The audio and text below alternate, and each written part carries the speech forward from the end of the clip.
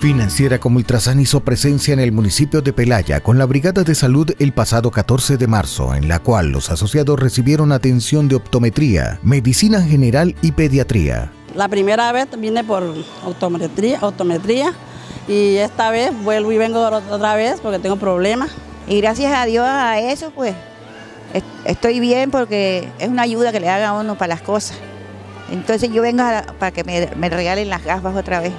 Con esta actividad, Financiera como Ultrasan busca que las comunidades sean las principales beneficiadas y reafirma su compromiso con el desarrollo social. En esta oportunidad se beneficiaron más de 350 personas. Este servicio de Brigada de Salud es muy esperado por la comunidad de Pelaya.